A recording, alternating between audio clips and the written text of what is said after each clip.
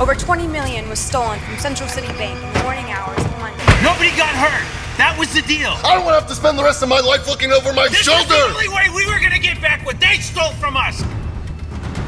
Who are those guys? I don't see any brass, any exchange of fire.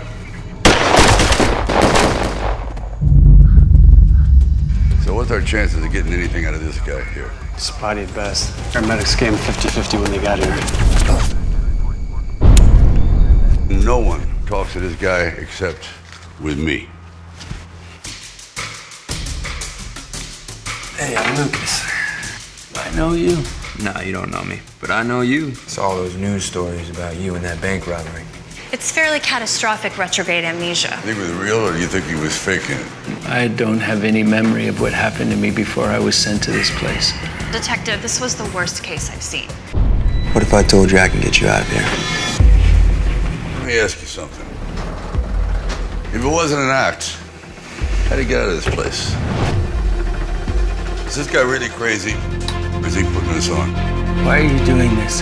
There is $20 million hidden out there, and we believe that you know where it's stashed. I don't know where the money is. You've had seven years to solve these homicides, but you got nothing. Don't worry about it. Something happened here. All I see is fragments. I don't trust this guy. I don't trust him either. You see something? Call me. Who's this? Someone else had to be involved.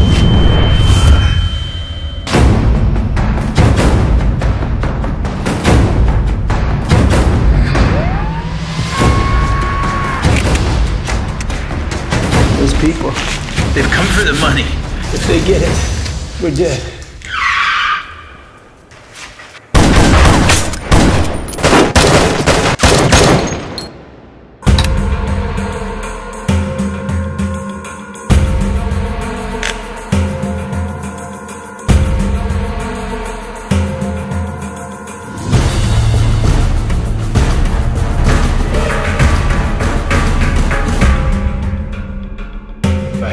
prison. I'd like to know why.